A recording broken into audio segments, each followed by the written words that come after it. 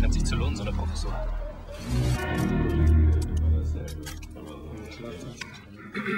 Du könntest ein paar Vitamine gebrauchen. Für mich echt? Nur nicht mit erwischen lassen. Essen ist hier nicht erlaubt. Okay. Ich hab leider noch. Komm, ich nehme dir was ab. Na, deine Klausuren waren bestimmt auch gut. Dann hast du ein Top-Examen.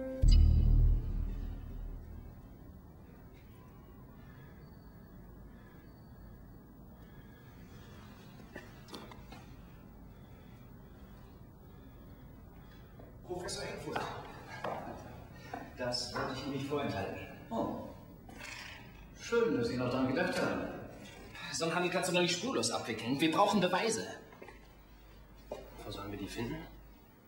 In Heckfurts Büro natürlich.